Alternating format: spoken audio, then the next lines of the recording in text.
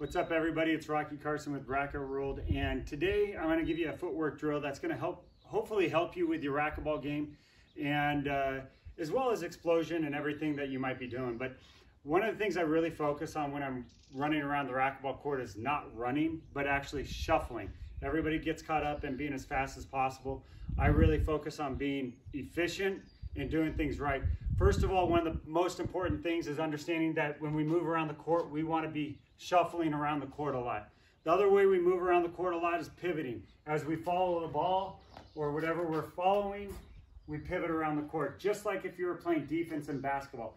The last thing I really like to focus on is getting low, and that's with a lunge. So as we're doing this exercise, it's gonna be like a shuffle, pivot, lunge, explode out, shuffle, pivot, lunge, explode out. If we had a racket in our hand, it'd look a little bit more like this. Shuffle, pivot, lunge. For me, backhand, shuffle, pivot, lunge, forehand. And it's just a basic drill right there, cross, back and forth as you're moving across the court. Or with me, at the moment, it's my backyard. So getting a little winded even from this, but I'll do a few of them a little quicker.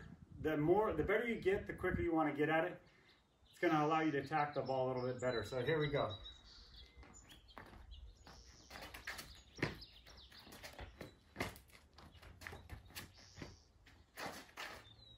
Hopefully that'll help your game and make you a much stronger player and athlete.